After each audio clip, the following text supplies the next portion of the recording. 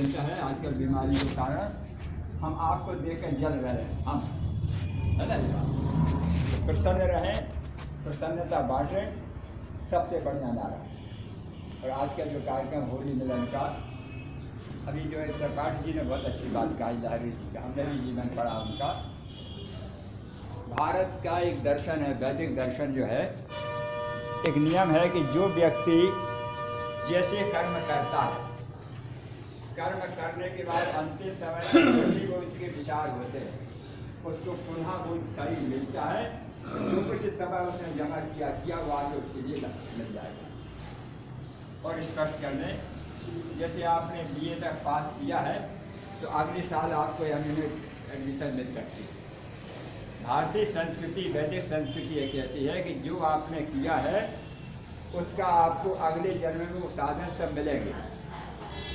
हम और आप समझ लीजिए पुण्य कर्म होंगे तो हमने जो अच्छे कर्म किए, उसके कारण हमें ये मनुष्य शरीर अच्छा वातावरण दारू की दुकान पर खड़े होते शरीर से आपने कम से हम योग में अच्छे वातावरण से बैठे तो योग की साधना ये है जड़ भारत की आपने कहानी सुनी होगी मरते समय जैसे विचार, जैसे संकल्प करते वैसे उसके लिए पुनर्जन्म भी मिलता है।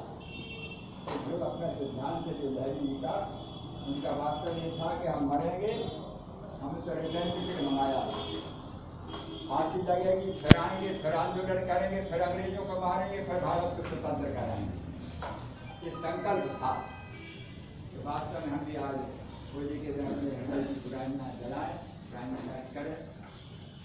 प्रेम, करुणा एक दूसरे के प्रति सेवा भाव, आत्मीयता, इससे बड़ा कोई धर्म नहीं।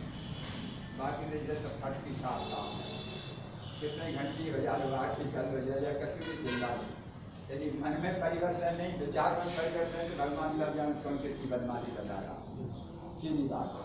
तो हृदय से अपन लोग आज होली के पुण्य पाप पर अपनी बुराई में जलाए मित्र भाव रखें आपस में मिले और योग तैयारी चीज़ें करोगे तो पाप नहीं खड़े खड़े सकता सीधी बात। हमें शामिल कर लीजिए आज कठिनाई की वजह से बहुत एक्सपर्ट से बहुत आज तक के बहुत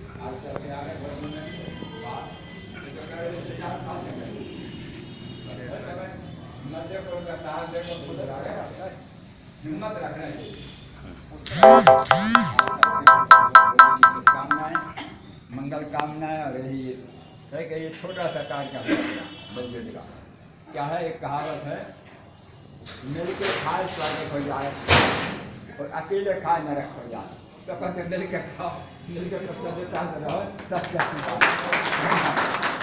मेरी बात मेरी बात भ्रष्टाचार की बात नहीं समझ ये तो प्रसाद यह भगवान की सबके लिए अकेला करवाई जी। और